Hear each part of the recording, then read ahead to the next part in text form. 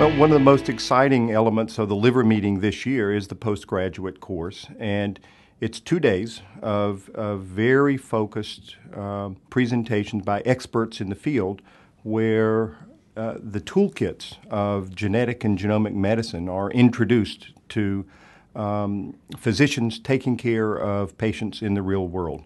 And so attendees will have the opportunity to hear the experts in, in uh, science and clinical practice uh, put together these disciplines and look to the future. This information is going to have a real impact on the practice of medicine. The application of genomic testing, where there are a trillion bits of information per individual, uh, coupled with the reality that now uh, each individual is really only 10% human DNA.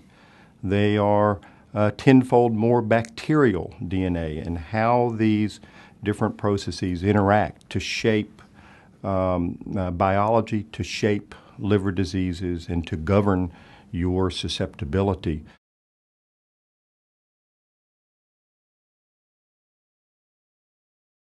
The opportunities in clinical practice.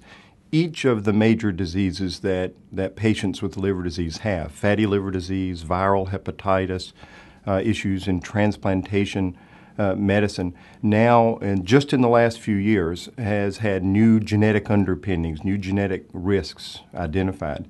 And as a result, the practice of hepatology based on those uh, individual uh, susceptibilities is changing uh, uh, day to day.